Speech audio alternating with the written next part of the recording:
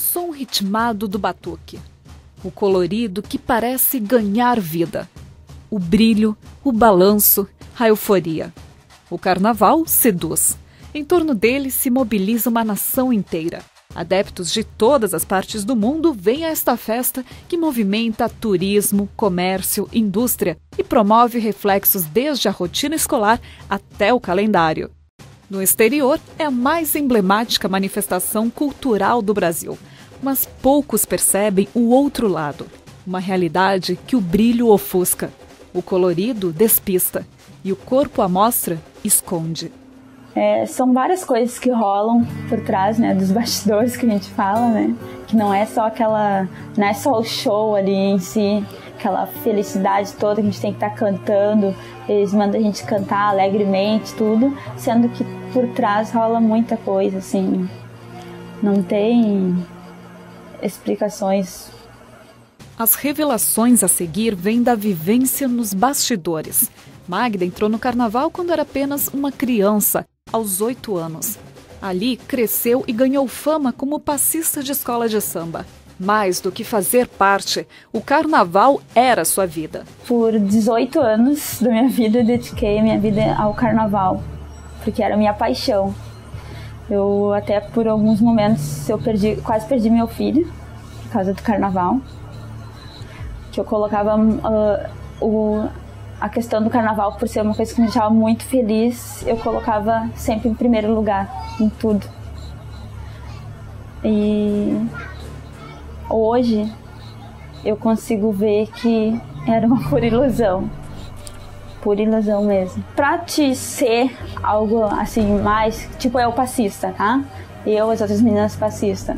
Tem que ter muito dinheiro. Então, pra te ter o dinheiro, muitas garotas acabam se prostituindo para poder pagar suas fantasias ou até para ter algum cargo nas escolas de samba, como rainha, rainha de bateria, musa da bateria. Aí rola a questão da prostituição.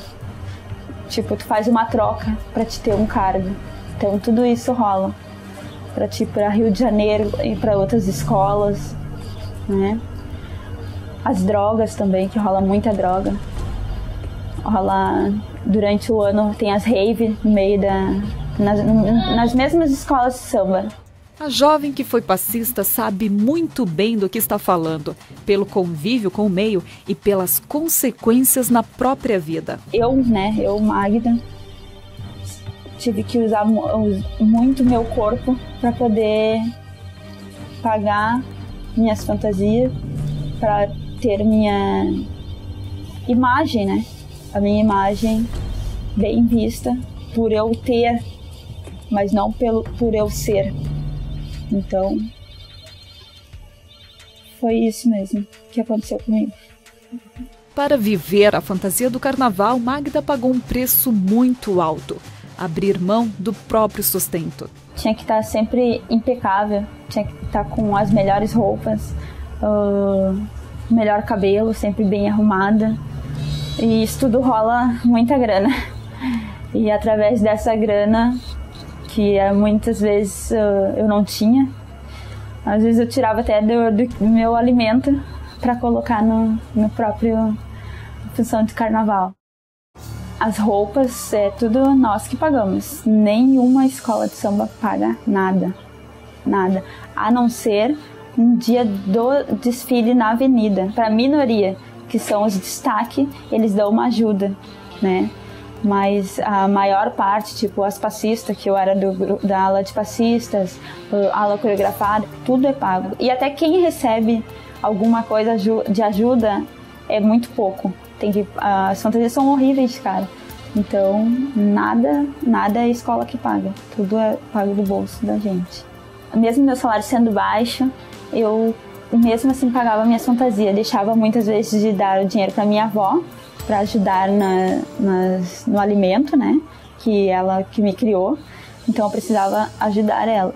E aí eu não podia ajudar porque eu tinha que pagar as fantasias do carnaval. A minha avó faleceu, ela odiando o carnaval porque eu trabalhava no McDonald's uma época e meu salário todinho era pro carnaval, pras roupas, né? Por causa uh, dessa minha dedicação total a isso, que não me dava retorno algum, né?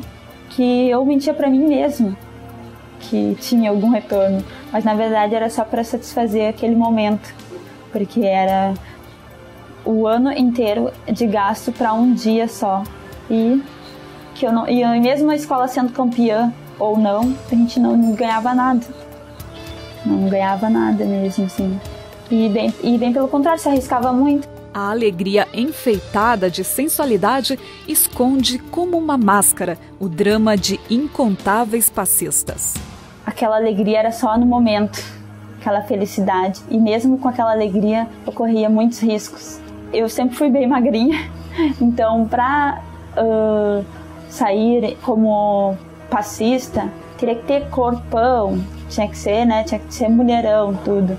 Enfim, tinha que tomar algumas coisas mais para manter o corpo, para né, fazer bonito para aquele um dia só.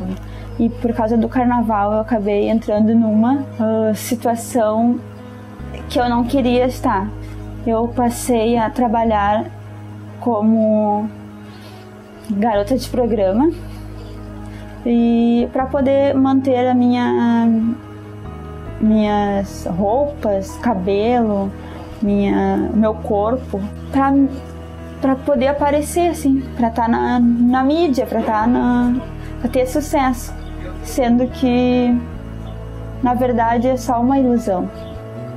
Eu fiz tudo isso e eu, eu em vez de ganhar, eu perdi muito mais do que, do que ganhei.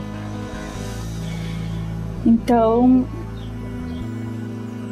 eu até faço um apelo para as garotas. A gente não precisa ser tá aparecendo na tela, na, na televisão, tá aparecendo uh, no carnaval para que as pessoas te enxerguem